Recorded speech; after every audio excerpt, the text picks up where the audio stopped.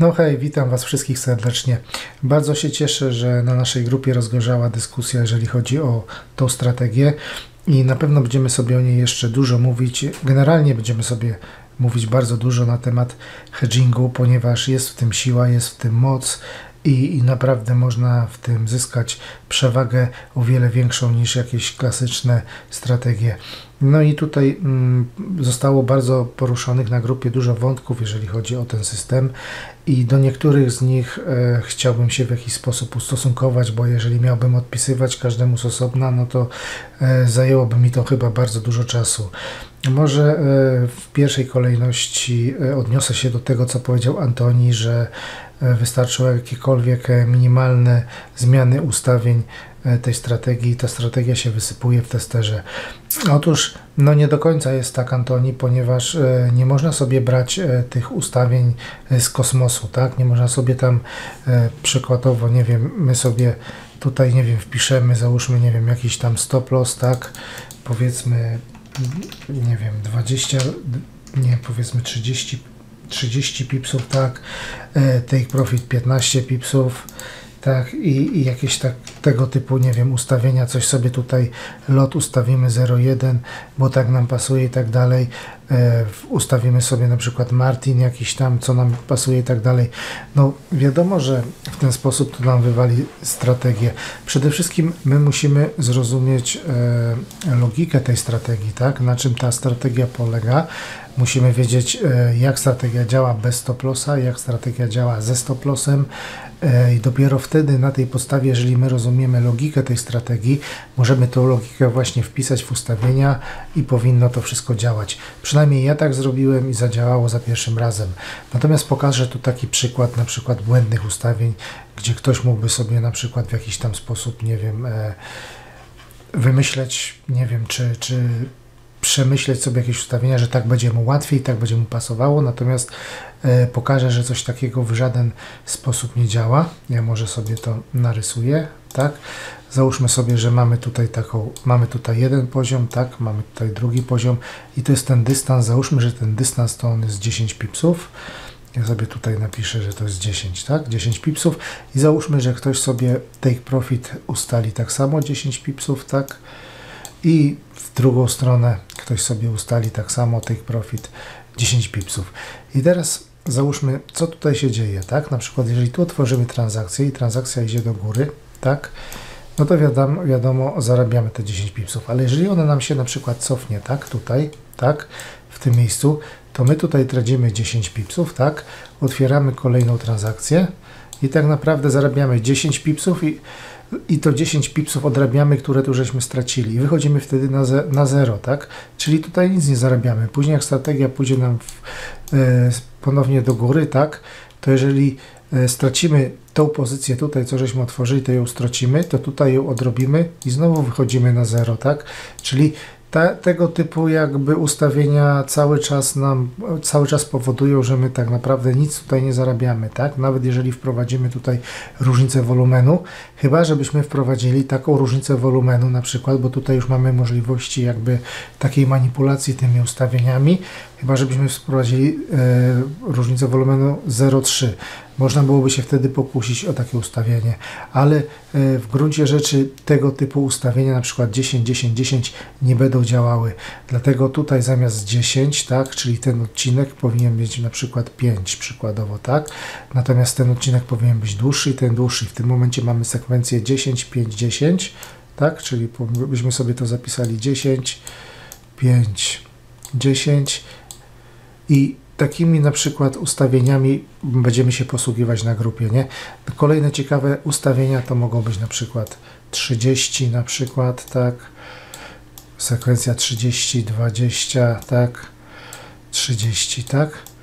I to jest też ciekawa sekwencja. Jest sekwencja 60, 30, 60. Właśnie chodzi o to tutaj, żeby ta, ta przestrzeń, tak, co mamy tutaj, żeby ona zawsze była mniejsza. Dlatego bardzo ważne jest tutaj zrozumienie tej strategii i zrozumienie e, właśnie jej całej tej logiki, w jaki sposób zarabia, jak ona zarabia i, i, i dlaczego właśnie się tak dzieje, a nie inaczej. No i jeszcze może bym, ja sobie może to skasuję, może jeszcze pokażę jeden taki przykład ustawień. Zaraz sobie to wyłączę rysowanie. Dobra, wejdę tutaj ustawienia, a może powinienem chyba wyczyścić najpierw to wszystko. Tak. E, Tutaj jest jeszcze taka ciekawa kwestia, na przykład jak mamy ten martingale numer 1 i martingale numer 2. Jeżeli na przykład sobie tutaj zmienimy, ja muszę znowu wyłączyć rysowanie, zmienimy sobie na przykład na 3, tak, to musimy wiedzieć, że jest tutaj, tak, będzie taka sytuacja, że pierwsza z tych transakcji, i znowu ja sobie to narysuję, tak, ja sobie to znowu narysuję, tak, sobie tu narysujemy tą przestrzeń, powiedzmy, że to będzie ta mniejsza przestrzeń, take profit będzie gdzieś tutaj, tak? I teraz przykładowo, e, niech to będzie przykładowo 5, 10, 10, tak? To jest przykład, słuchajcie, ja nie mogę tu w żaden sposób nikomu niczego gwarantować, natomiast to są tu przykłady. To, co ja mówię, to ja Wam mówię na podstawie mojego doświadczenia, tak jak ja to doświadczyłem, jak ja to poznałem, jak ja to wszystko, co ja znam. Oczywiście nie znaczy być może czegoś, ja nie wiem, czegoś ja może też może coś źle rozumiem. Natomiast wszystko to, co do tej pory, to, to co Wam przekazuję, to mi się sprawdziło, to działa, to funkcjonuje.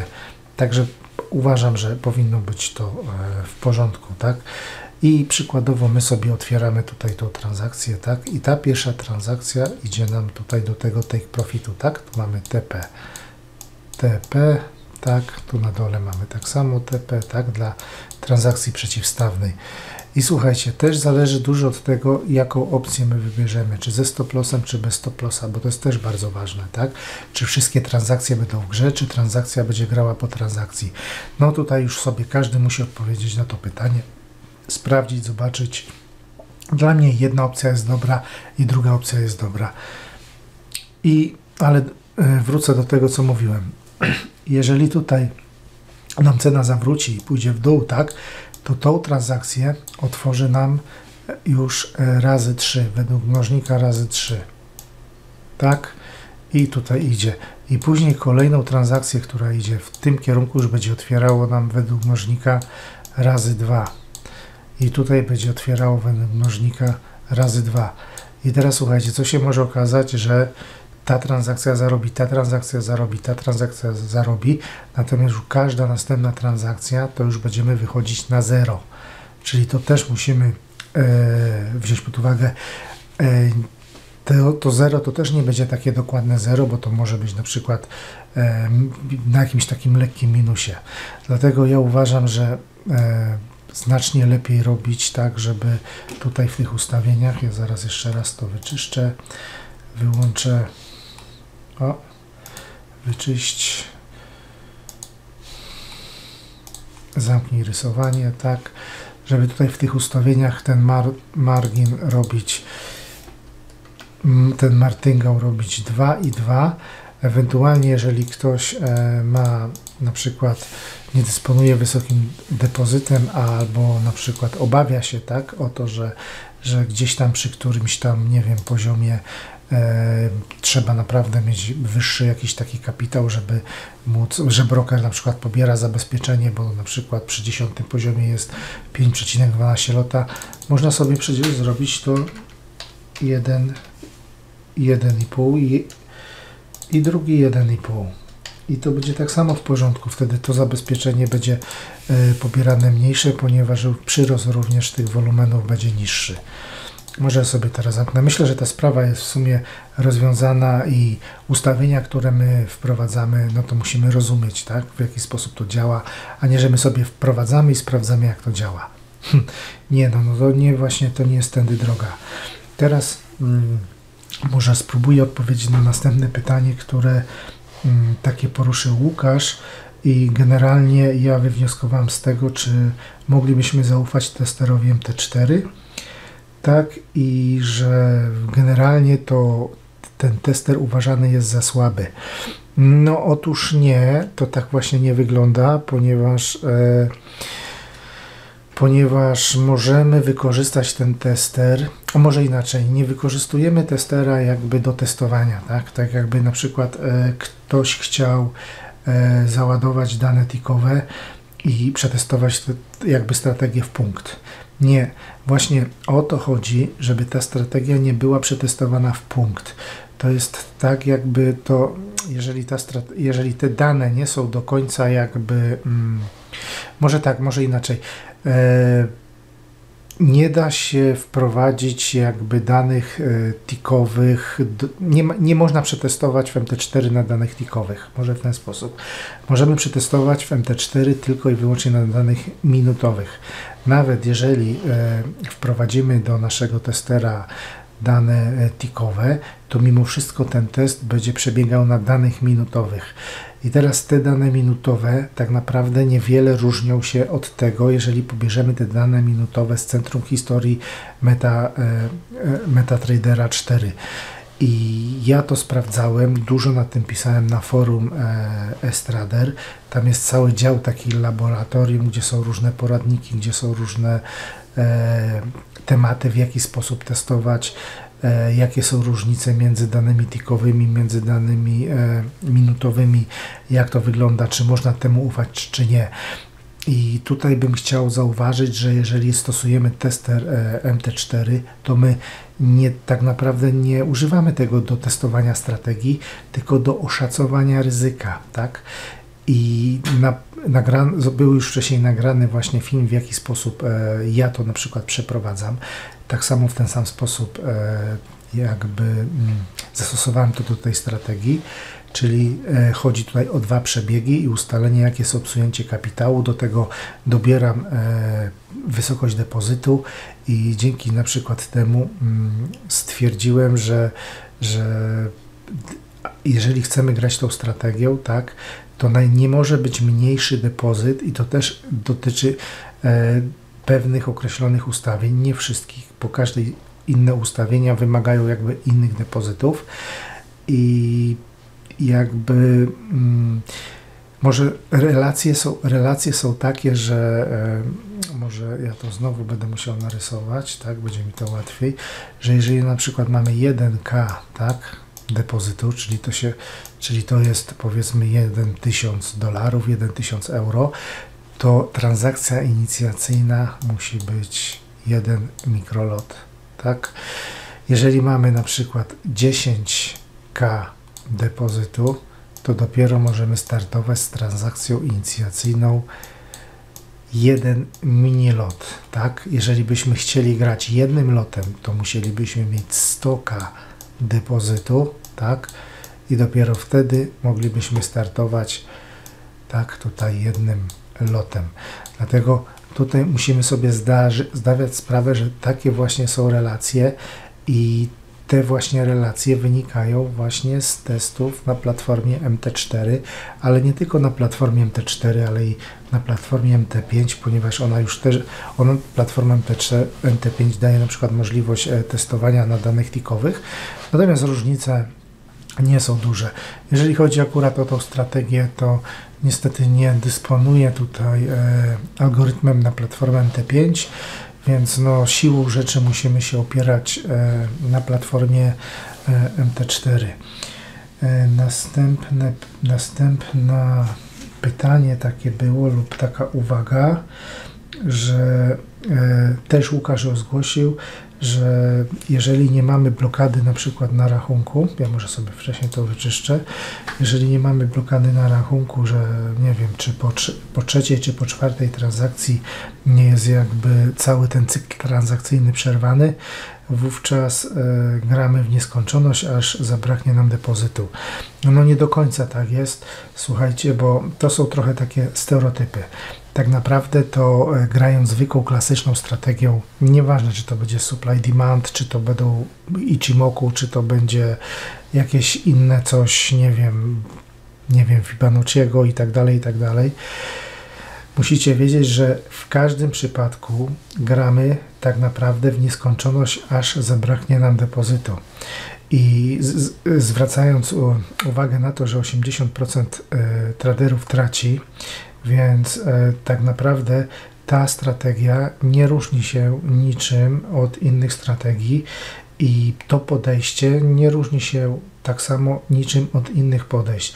E, w klasycznej e, w klasycznych strategiach ludzie tracą, tylko jest to proces rozciągnięty w czasie. Oni nie tracą tego szybko, jest to bardzo wolno.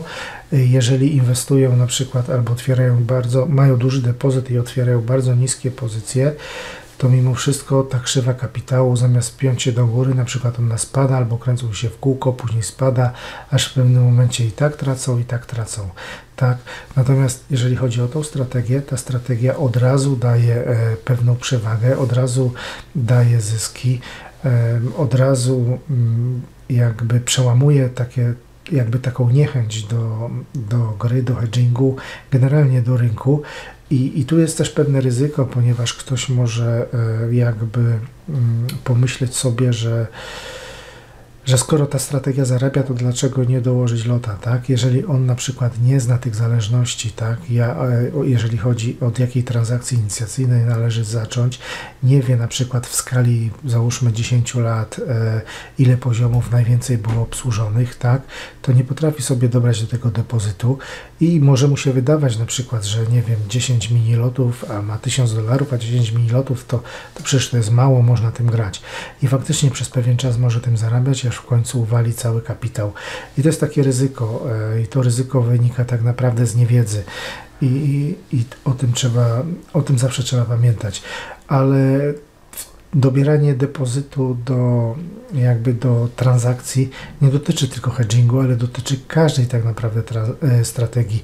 Dotyczy to klasycznych strategii, o czym wiele osób nie wie, nie zdaje sobie sprawy, nie praktykują tego, lekceważą sobie to, e, idą jakby za nosem, tak, a później okazuje się, że trafia się jakaś czarna seria strat i, i depozyt jest uwalony.